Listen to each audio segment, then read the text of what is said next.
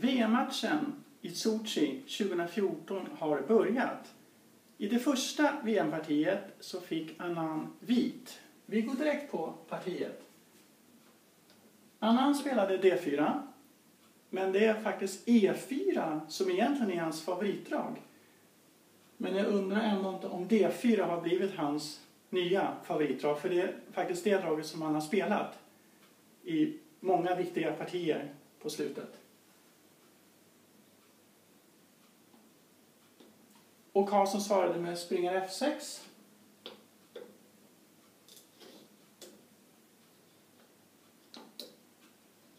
Han svarade med Grünfelds spelöppning. Och här spelade han C står D5. Men nu gjorde han det här relativt lugna draget. Och den här fortsättningen har även Smyslov använt sig av. Idén är att vi förstås vill ta tillbaka med löparen på C3. Så en variant här som satt kan spela det är ju springare B6 som då hotar bonden på D4. Och efter ett barriätro e kort rokad så kan vi faktiskt spela det här skarpa draget. Det här kan bli väldigt intressanta ställningar. Och det var säkert en fortsättning som Allan hoppades på. För hans chans är ju att, att gå in i skarpa varianter som han har förberett. Men han slog på C3 och garderar sin löpare då med kort rokad. Och nu spelade Annan dam D2 och det här förbereder ju i förlängningen då ett angrepp mot vits kung med lång rokad ja, följt av H4, H5 precis som man gör i drakvarianten. Här är det normala draget att svart spelar C5 och då har Anand i ett tidigare parti spelat D5. Och efter slag på C3 så spelade svart E6. Då fortsatte Annan med D6 och svart med E5. Och nu spelade Annan H4 och det här ledde till ett komplicerat spel. Men den varianten ville Karlsson alltså inte ge sig in på. Utan han gjorde ett mindre vanligt men fullt spelbart drag, nämligen springare C6.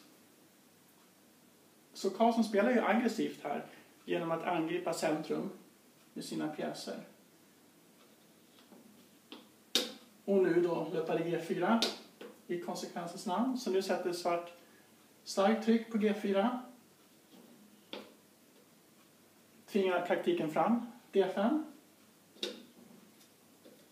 Svart bytte på F3, men vit har mellandraget. Löpa G7, kung G7. G slår F3. Och nu då springer E5 som hotar gaffeln här. Och eh, Annan kunde förstås ha gjort dam C3 här, men även det här draget funkar ju.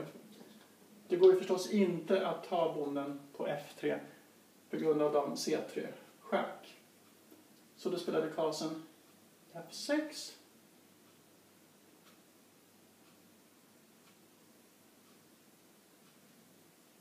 Och nu kom då dam C3.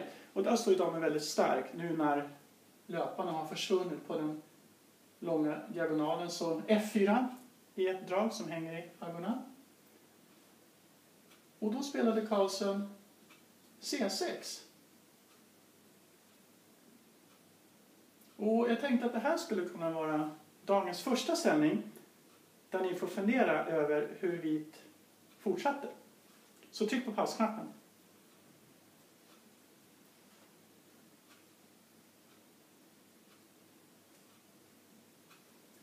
Det draget som Annan gjorde, det var löpare H3 och det här är ett starkt drag för att ta kontrollen över diagonalen H3 C8 och därmed förhindra att svart får ett torn till C-linjen där vit dam kung står. Det här draget, D och C6, som visar en avdragare, det hade varit mindre bra. Då hade Karlsson fortsatt med dam B6 som sätter tryck mot F2. Och skulle vi göra F4 nu, då kommer ju förstås bara springa som C6. Och slår man här så behöver svart faktiskt inte slå på B7, som visserligen är ett bra drag, men ännu bättre är det här. För att behålla då damen på den här klassiska diagonalen, för där trycker den ju på F2 samtidigt som svart förbereder spel på både B och C-linjen med torn slår B7. Så den här ställningen är inte så attraktiv för vit, utan då hade Karlsson säkert vunnit om han hade fått sånt här spel. Det är rena drömmen för svart. Nej, så löpare H3 är det draget som ska spelas. Och då slog Karlsson på D5. Och även här vill jag att ni ska trycka på pausknappen och tänka ut vits bästa fortsättning.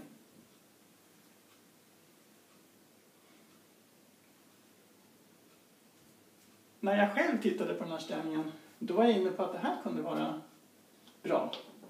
Men det är faktiskt inte så bra när man fördjupar sig, utan det är svart ställning som är att föredra efter dam B6 och det är framförallt att det blir obehagligt tryck där på F2. Och det är svårt för vita att komma vidare här. Då, då var faktiskt det här draget mycket bättre som Anand spelade, E så D5. Därför att tanken är att man i förlängningen ska sätta tryck på bonden på E7. Det förstör ju bondestrukturen, men det viktiga här det är att vi får aktiva pjäser. Va? Aktiva tunga pjäser. Och, och vi planerar ju nu förstås då F4 för att driva bort springan på E5. Och då valde Karlsson direkt springare F7. Och så kom F4 för att springa då och så kunna återkomma till E5. Dam D6, det hotar ju att ta bonden med schack och den garderar vi enklast med dam D4. Och nu kom det här. Och det här tycker jag det, det är ett smart drag som kanske ser lite konstigt ut vid den första granskning av ställningen. Men draget planerar det här. Därför att vi kan inte slå passant här eftersom det är för starkt tryck mot damen på D4. Så därför spelar nu Anand in löpande till E6. Och då kom dam B6. I en sån här ställning så vill svart gärna byta dam. Därför att då försvinner alla chanser för vit att angripa svarts kung. Och det är det hela spelet bygger på eftersom vit har splittrat sin bondestruktur här. Så helt riktigt gick han undan. Och sen kom det här. Och det förbereder ju springare D8. För den här löparen på E6 vill ju svart gärna bli av med. För då, då blir svarts kung säkrare plus att svart lättare kan få spel på C-linjen. Så han, han gör det bästa situationen, gör sig av med sin dubbelbonde.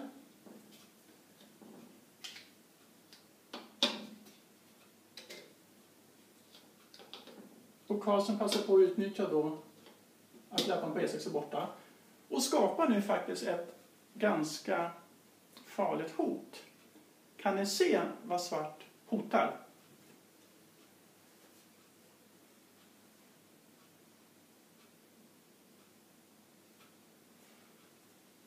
Ja, det svart hotar här, det är ju att helt enkelt slå bonden på D5. För skulle viten slå tillbaka, då kommer de C2 schack, kung A1 och så blir det en plaskmatt på C1.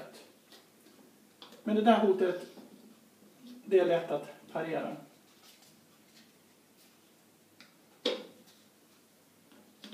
Helt enkelt genom att göra ett mothot mot torn D1. Nu går ju inte torn slå D5 på grund av torn slå schack. Så därför byttes de här tonen bort. Och då försöker Karlsson sätta tryck på bonden på D5. Och annan trycker på svart svaghet som garderas. Och här ser nu vit chansen att bli av med alla sina bondesvagheter genom att spela D6, måste slå med bonden och sen dam D4. Här hänger ju även bonden på A7 Så om svart till exempel skulle gardera med dam D8 så kan vi slå på G6 och sen slå på A7. Men Karlsson föredrog att släppa bonden på D6 men först måste man ta på G6 för annars så kan svart ta på FN. Och nu då ton tar D6. Och den här ställningen, eh, även om vit står lite aktivare här så är ju ställningen för anses som remibetonad. Svart säkrar sin bondestruktur på damflygeln och vit säkrar sin kungställning. Och nu då så aktiverade Karlsson sin dam.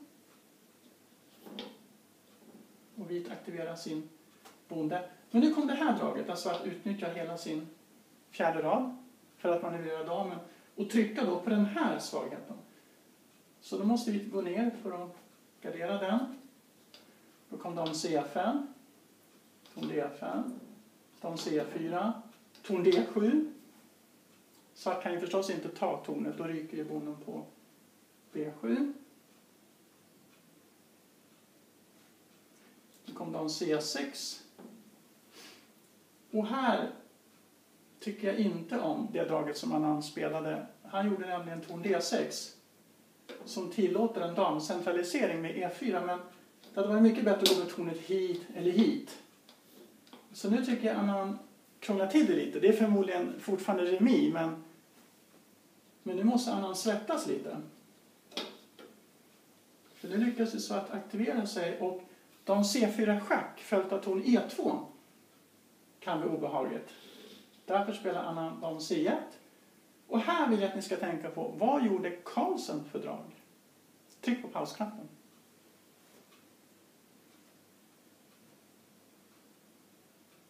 Ja, Karlsson gjorde ett väldigt starkt drag. A5. Och det är ju för att spela det här och begränsa vits kungs rörelsefrihet. Så nu måste han försvara sig.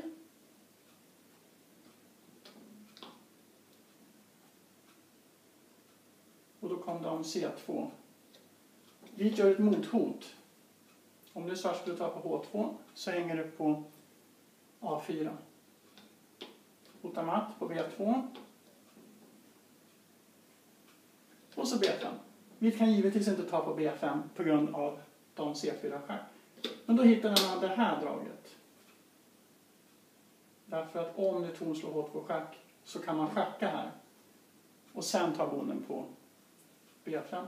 Så valde Karlsson det här säkra draget. Men nu så säkrar då Annan remi kan man säga. Det hotar ju dam B1 matt. Så Annan måste helt enkelt ta ut remischackan. Och så blev det. Det blev remi. Så i nästa parti, då kommer kasen att ha vit.